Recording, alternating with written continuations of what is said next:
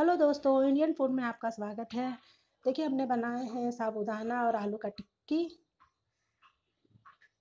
खाने में बहुत स्वादिष्ट लगता है। अगर वीडियो मेरा मेरा आप पूरा देखिए। अगर वीडियो पसंद आए तो लाइक सब्सक्राइब करना मत भूलिए।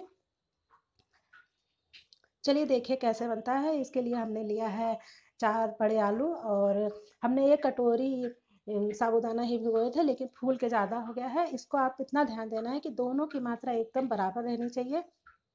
इसलिए हम साबुदाना थोड़ा कम कर देंगे। और उसमें डालने के लिए हरी मिर्च कट कर लीजिए। आप स्वाद अनुसार, आप जैसा तीखा खाते हो, आप डाल सकते हैं। और दोनों को बराबर मात्रा में, बस इतना ही ध्यान देना है कि दोनों की मात्रा, आलू और साबुदाना की मात्रा एकदम बराबर रहनी चाहिए। इस, और इसमें हमने डाला है सेंधा नमक, ये कटा हरा मिर्चा। अब इसको दोनों को मैश कर लीजिए। दोनों की मात्रा बराबर रहने से होता है कि तेल कम सोखता है, अगर ज़्यादा कोई भी साबुदाना या आलू कोई भी ज़्यादा हो जाएगा तो तेल ज़्यादा सूखेगा, इसलिए एकदम बराबर मात्रा में रहे।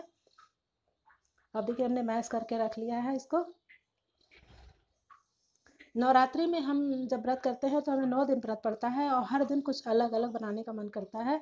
इसलिए आप एक दिन साबुदाना और आलू की टिक्की भी ट्राई कीजिए।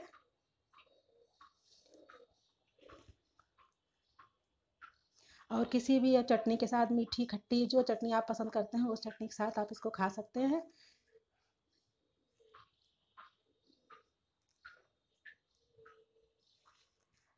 देखिए, हम, हमने इसको गोल गोल बना करके आप जिस, जैसा आप पसंद करते हो, आप टिक्की बनाना चाहे जिस शेप में भी आप चाहते हो, उस शेप में आप इसको बना लीजिए।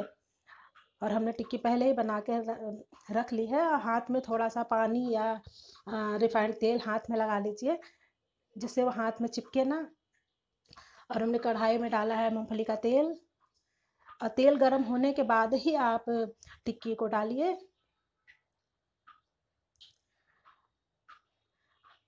हम्म शुरू में एकदम फुल फ्लेम पे रहना चाहिए गैस और इसको आप छूइए मत, क्योंकि अगर ज़रा भी उसको टच करेंगे तो वो चिपक जाएगा। जब तक पूरी तरह लाल ना हो जाए, तब तक उसको उलटने की भी कोशिश मत कीजिए। देखिए देखिए हमारी टिक्की एकदम लाल हो गई है।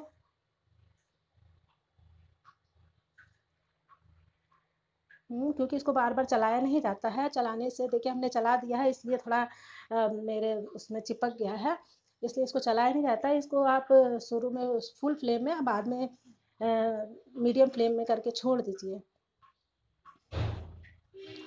देखिए हमारी टिक्की एकदम तैयार है और तेल भी हमने जितना डाला था आपने देखा उतना तेल भी नहीं लगा। इसलिए आप भी एकदम बराबर मात्रा में ही साबुदाना और आलू को रखिए। अगर थोड़ा भी उसमें आलू ज़्यादा हो जाएगा या साबुदाना ज़्यादा हो जाएगा तो तेल ज़्यादा सोख लेगा, इसलिए इस चीज़ का बहुत ही ध्यान देना है।